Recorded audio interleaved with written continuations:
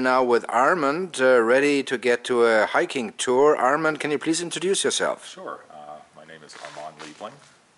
We're here in Scottsdale, Arizona. I work for Arizona Outback Adventures. Okay, so maybe you can show uh, us on the map, uh, which is next to you, what uh, tour we will do today. Sure. Uh, So today we're going to do the Gateway Loop Tour. So we're right here at the trailhead on the map. It's kind of a popsicle stick, stick view. We're going to hike out here uh, about a half a mile.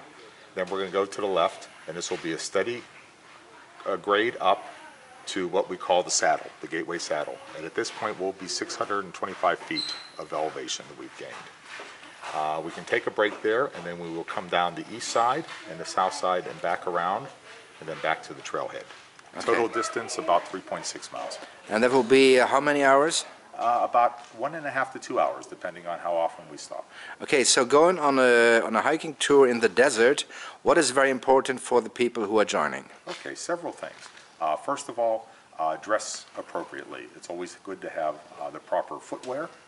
Um, and in the temperatures like today, shorts or, or light long sleeve or, or, or pants, long pants are acceptable, uh, and a nice comfortable shirt. Uh, the second thing is water. We always have to have plenty of water. Uh, if it's a guided tour like today, um, I will bring extra water for you. And then the other important thing is sunblock because we're out here in the desert, we have the sun. Uh, it's important to protect yourself uh, from that. Thank you very much. I'm looking forward to this. Okay, thank you. I am as well.